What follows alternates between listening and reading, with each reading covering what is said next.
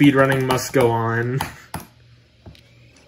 Bro, like, imagine, like, dude, Undertale speedrunners' keyboards have to be, like, dead, because, like, the entire speedrun, when they're not playing the game, you're just mashing the keyboard to skip cutscenes. I have not. And I don't know if I want to now, I think I'm scared.